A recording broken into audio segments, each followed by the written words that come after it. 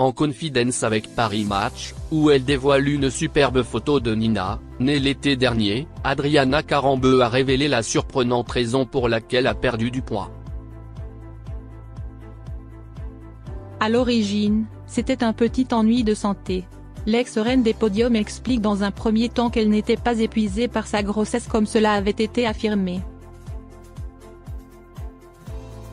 J'étais au contraire en pleine forme, doté d'une énergie incroyable. Après une fausse couche et l'échec de deux five, ma nature anxieuse prenait parfois le dessus, mais je considérais chaque jour comme une petite victoire. Comme si je traversais la pluie sans être mouillée, a-t-elle indiqué, avant de confirmer que c'est a perdu du poids, c'est qu'elle était dégoûtée par la nourriture.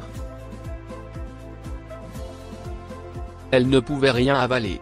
Je parvenais à peine, par moments, à avaler un yaourt entier. Des reflux constants m'obligeaient à dormir pratiquement assise dans le lit.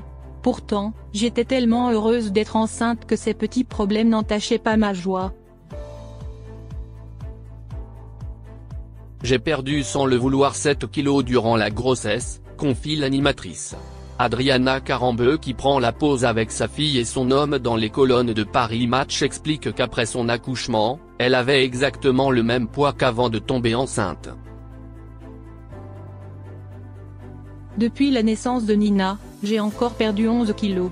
J'ai maintenant retrouvé le poids que j'avais à 20 ans, a-t-elle confié.